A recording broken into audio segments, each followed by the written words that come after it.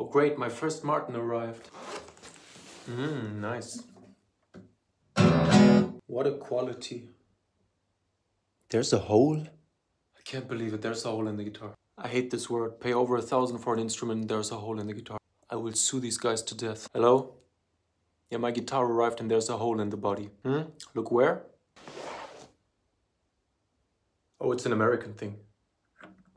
Americans always have to stick a pole somewhere.